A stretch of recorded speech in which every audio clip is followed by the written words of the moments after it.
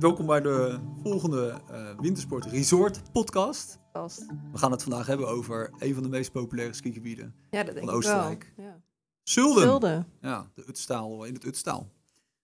Ik zal even wat, wat, wat facts opnoemen over Zulden voor de mensen die het niet kennen. Zulden is een van de bekendste skigebieden van Oostenrijk. Het ligt in Tirol. Dorp ligt op 1350 meter hoogte. En gaat tot, de pistes gaan tot 3244 meter hoogte, wat voor, eh, ja, voor Oostenrijk best, eh, best hoog is. Eh, je vindt er 142 kilometer aan pistes. Eh, super divers, gaan we het zo verder over hebben. Ehm, het is relatief makkelijk te bereiken, in die zin dat je geen Ja. grote bergkool omhoog hoeft. En nou ja, het, bestaat uit, het skigebied bestaat uit een aantal delen. En nou ja, weet je, dat, dat is denk ik de basis. Maar ik denk dat, weet je, sommige gebieden hebben, hebben zo'n introductie nodig. Nou, niet, nee, dat denk ik ook niet. Nee. Ook al ben je er nog nooit geweest. Ja, dat denk ik. Toch? Want dat was ik bekend. Jij bent net in Zulden Ik ben geweest. het schuldig geweest, een paar weken geleden. Hoe was het?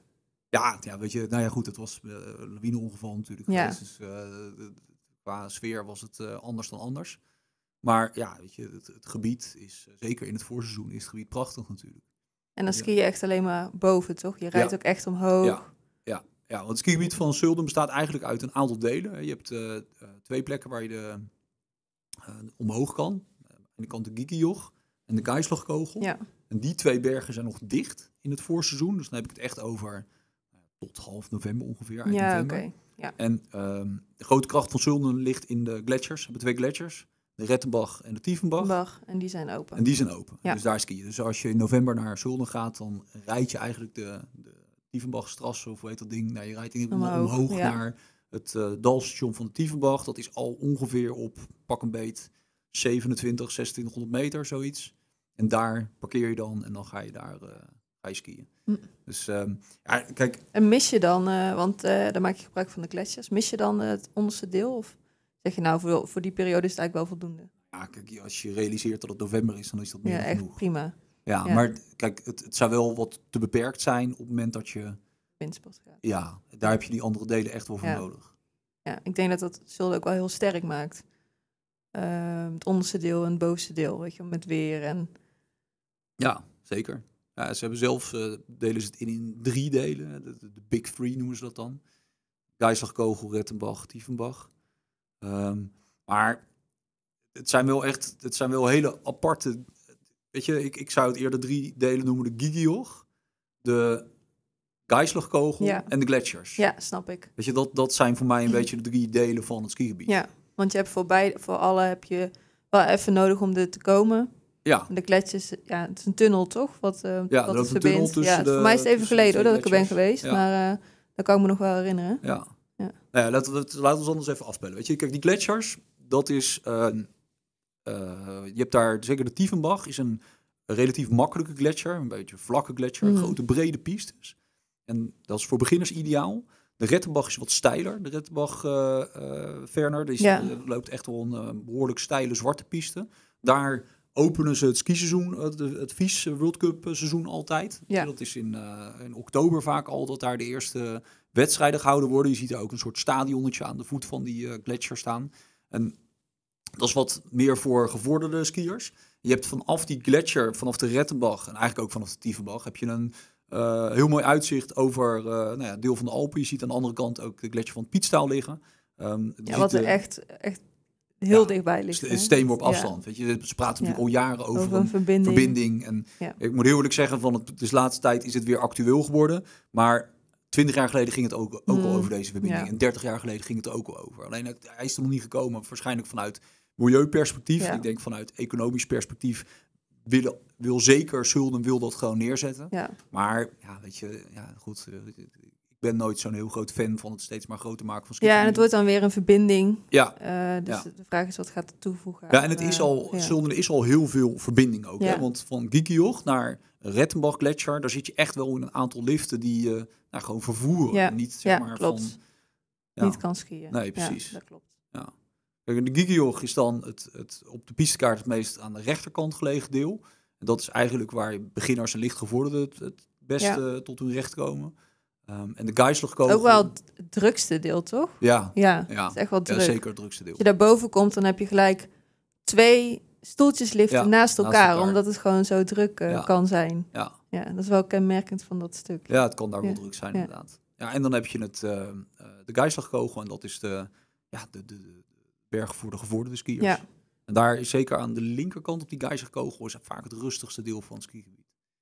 Ja. Dat, ehm, Ja, het is wel grappig. Het is echt, eh, het is niet één gebied. Het voelt meer als, eh, Ja. ook al als je daar gaat skiën, je, je hebt altijd wel het idee dat je een soort van tochtjes aan het skiën bent. aha, ja, dat klopt. En je kan echt Ja. plannen. Als je daar een week bent, ga je eerst eh, of lekker naar de gletsjer Ja. als het wat ja, als het goed weer is. Of denk van nou, het weer is slecht, dan blijf je lekker Mm. naar beneden. Ja, Nee, dat, dat is echt dat is echt prima te doen inderdaad. Ik vind voor het aantal kilometer piste krijg je echt wel snel het gevoel dat je daar tocht kan skiën. ja. Dus dat is op zich is dat, eh, is dat goed.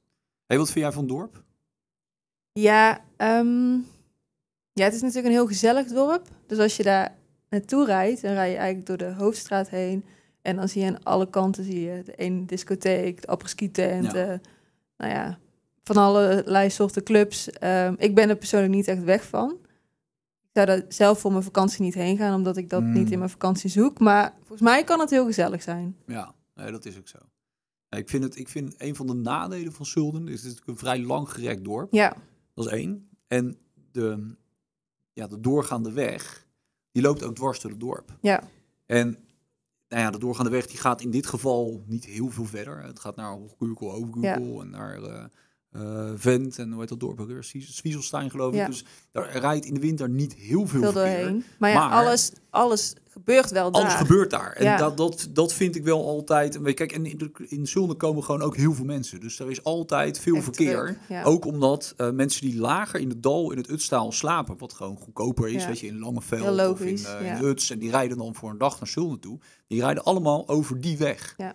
En dat vind ik wel een nadeel. Weet je. Ik denk dat het dorp er heel erg bij gebaat zou zijn als ze op een gegeven moment eh, ja, een tunnel zouden maken onder het eh, dorp Ja. eh, door. En dan volgens die straat zeg maar gewoon een voetgangerszone zouden maken. Dat zou het dorp wel heel erg veel het aantrekkelijker voelt heel onrustig maar- aan. Ja. Omdat daar inderdaad iedereen rijdt. Maar daar moet je ook de lift naar boven pakken. Dus, Ja, en omdat, Ja. Het zo, omdat het zo verschrikkelijk lang gerekt is, mist het eigenlijk een beetje echt een, een centrum-centrum. Ja. Weet je, waar je echt, dat, oké, dit is het centrum van het dorp. Dat heb je niet echt. Het hangt er heel erg van af waar je in het dorp verblijft.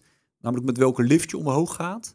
En ook simpel, ja, weet je, bij welke apres tent je bijvoorbeeld s'avonds wat eh, wat gaat drinken. drinken. Ja, dat klopt. Weet je, als je in de buurt van de, eh, van de Geislagkogelbaan zit, ja, dan, dan ga je minder snel richting een tent als de Almraus, die weer veel dichter bij de Gigihoch zit.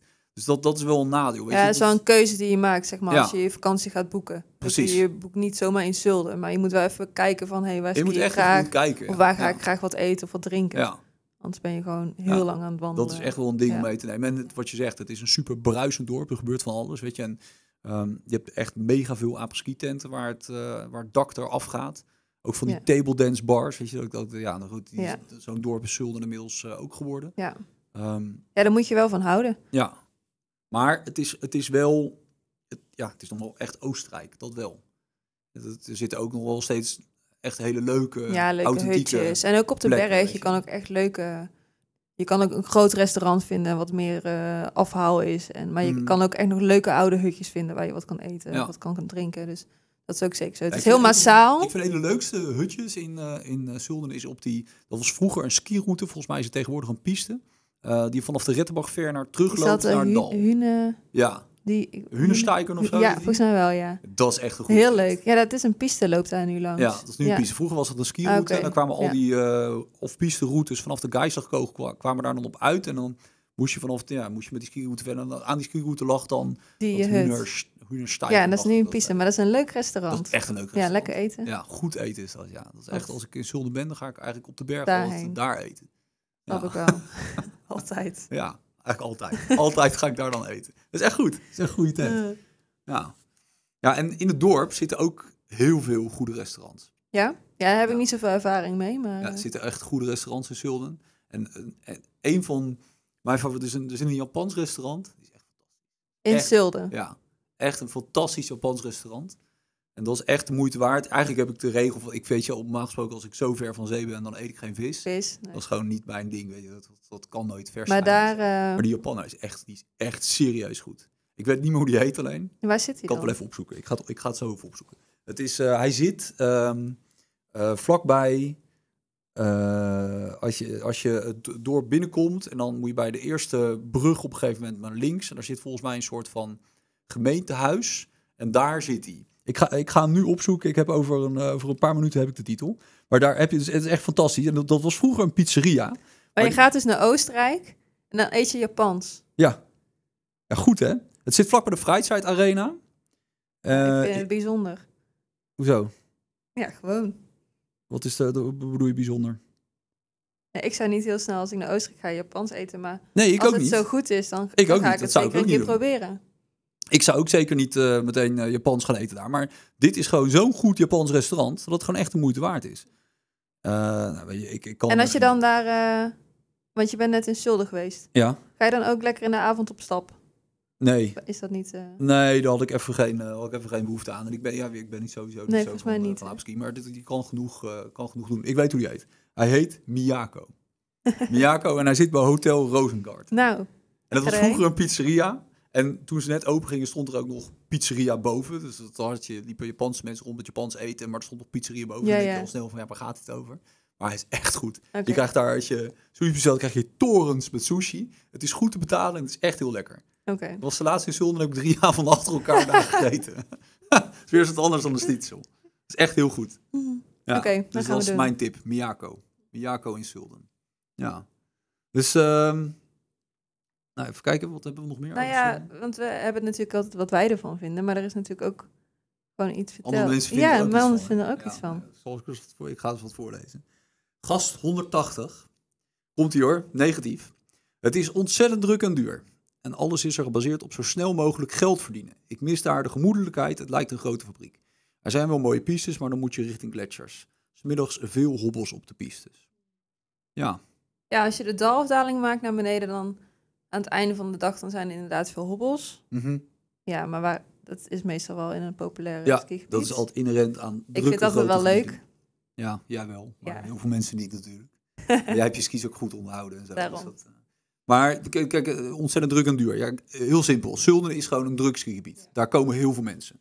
Eh, weet je, als je denkt van ik ga hier rust vinden en authenticiteit, moet je er absoluut niet heen gaan. Overigens zit dat wel in de buurt. Hè. Als je een stukje doorrijdt naar Vent. Ja, ja of hoog een- Google, open Google is ook echt al een heel ander Ja, gebied, hè? Google- Open Google is, een, is ook al, maar dat, dat is nog echt wel hè, supergoed verzorgd. Ja, en, eh, klopt. ook Ja. wel prijzig, want dan ben ik ook wel met deze persoon eens van, ja, druk en duur. Ja, Zulden is geen goedkoop gebied. Nee. Het is super populair. De liften zijn van topkwaliteit. Je gaat daar gewoon, eh, je betaalt de hoofdprijs. Ja, en daar krijg je zeker wat voor terug, maar het is geen goedkoop. eh, Ja, en gebied. daar, je krijgt er ook voor terug dat het dus dat, dat het sneeuwzeker is. Weet je, je kan de gletsjer, je kan laag. Het maakt niet uit. Als je nu boekt, het komt toch wel goed. Ja, Terwijl in heel veel gebieden weet je niet zeker of dat het goed komt met sneeuw. helemaal eens. Helemaal eens. Eh, Dat Dus daar betaal je ook gewoon je voor, ja. Helemaal waar. Ja, en, ehm, maar goed, eh, een gebruiker Benny, die is wel positief. Want die zegt, het is gewoon een heel goed skigebied met voor ieder wat wils en mooie lange afdalingen. Piste-restaurants zijn misschien niet altijd even authentiek, maar ga je naar de randen van het skigebied, dan heb je nog prachtige tenten. Door de gunstige hoogte en de gletsjers is het seizoen ook erg lang. Eind november tot eind april kun je bijna overal wel de berg af. Ja, eh, spot on. Ja, dat, dat is helemaal waar. Kan ik weinig eh, meer aan toevoegen. Weet je, die gletsjer, wat je ook zegt, van, ja, dat geeft toch een sneeuwgarantie. Heel veel mensen vinden dat prettig. Ja, daar Ja. ga je dan ook voor, eh, voor betalen. Ja, Zulden. Ja, zeker. Dus, ja, het is gewoon een heel divers skigebied. Eh, absoluut Ook duurder qua dan gemiddeld. niveau. Qua niveau, heel Ja. divers. Ehm, als je echt zoekt naar een rustige familiebestemming, dan moet je niet hier naartoe. Ben je op zoek naar een bestemming waar je s'avonds helemaal los kan. eh, en waar je gewoon ja, eh, een sneeuwzeker, eh, sneeuwzeker garantie hebt. En heel veel diverse pistes. Dan Moet je naar Zulden, moet je eens een keer naar Zulden gaan. Ja, denk zeker ik ook. waar. Alright, volgens mij hebben we alles er wel over gezegd. Ehm, denk het ook. Nou ja, we hebben nog eh, meer eh, resort podcasts eh, gemaakt over heel veel andere skigebieden. Kan je beluisteren in de podcast apps. En wil je nou een skigebied besproken hebben? Laat het achter op de site, in de comments, op het forum. En volgende keer nemen we misschien jouw skigebied, bespreken we dat. Dus bedankt weer voor het luisteren.